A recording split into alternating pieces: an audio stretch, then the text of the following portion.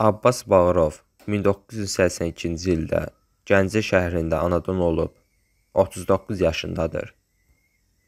O 1988-ci ildə Gəncə şəhərində 34 nömrə orta məktəbə daxil olmuş. Eyni zamanda 2 nömrə musiqi məktəbində təhsil almışdır. O 1998-ci ildə məktəbi bitirmişdir.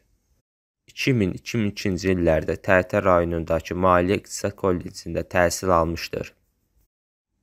O 2002-ci ildə musiqi ilə ciddi məşğul olmaq üçün Bakı şəhərinə gəlmiş, müxtəlif sənətkarlardan dərs almışdır. O 2002-ci ildən Azərbaycan əməkdar artisti Ənvər Sadıqov ilə çalışmağa başlayıb.